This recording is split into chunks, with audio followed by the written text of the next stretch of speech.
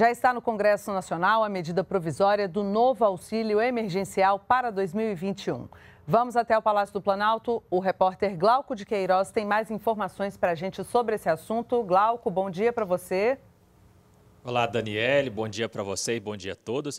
Olha, a medida provisória enviada nesta quinta-feira pelo presidente Jair Bolsonaro ao Congresso Nacional detalha aí o pagamento do novo auxílio emergencial presidente da Caixa Econômica Federal, o Pedro Guimarães, disse ontem em live com Bolsonaro que as agências estão preparadas para fazer esses pagamentos sem aglomerações. Foram contratadas para isso mais de 7 mil pessoas e abertas 76 agências. Além disso, metade aí, é, dos pagamentos deve ser feito por meio de contas digitais, ou seja, sem que a pessoa precise ir à agência para sacar esse dinheiro. E também o Caixa Tem, que é a ferramenta para os pagamentos, ele tem aí é, funções para evitar fraudes. Vamos ouvir o que disse o presidente da Caixa.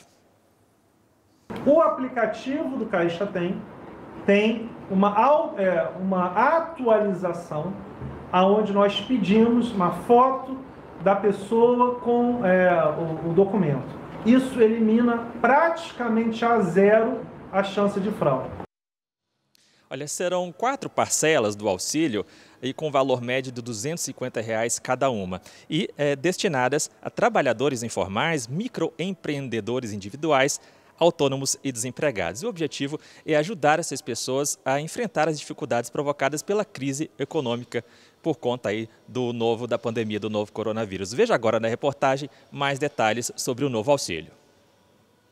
O valor total que será pago aos brasileiros chega a 43 bilhões de reais. O benefício será destinado a trabalhadores informais, inscritos no cadastro único e beneficiários do Bolsa Família. O pagamento do novo auxílio emergencial começa em abril. Serão quatro parcelas com um valor médio de 250 reais.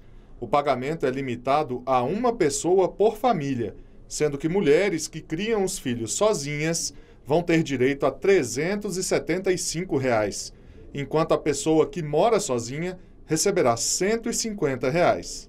O governo federal espera atender mais de 45 milhões de famílias. O auxílio será pago somente àquelas famílias com renda per capita de até meio salário mínimo e renda mensal total de até três salários mínimos. Eu estou esperando a atualização do meu auxílio 2021 e com ele vai me ajudar a inteirar meu aluguel.